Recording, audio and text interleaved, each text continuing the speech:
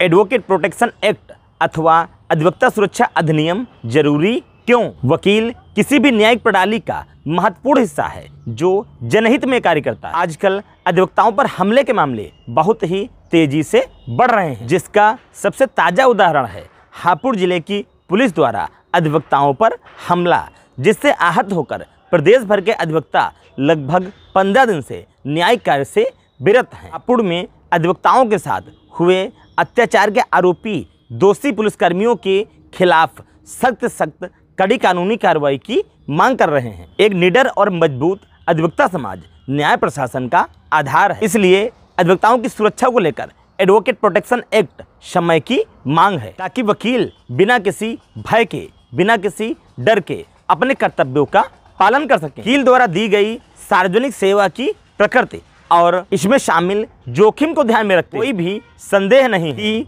वकीलों की सुरक्षा के लिए व्यापक कानून बनाया जाना चाहिए। अर्थात एडवोकेट प्रोटेक्शन एक्ट लागू होना चाहिए। सहमत हैं तो अधिवक्ताओं के सम्मान में वीडियो को लाइक कर दें और अपने मित्रों में व्हाट्सएप पे फेसबुक पे ज़्यादा से ज़्यादा शेयर करें। मैं आपका मित्र प्रदीप गो advocate YouTube channel Pradeep legal help से विनम्रता के साथ धन्यवाद।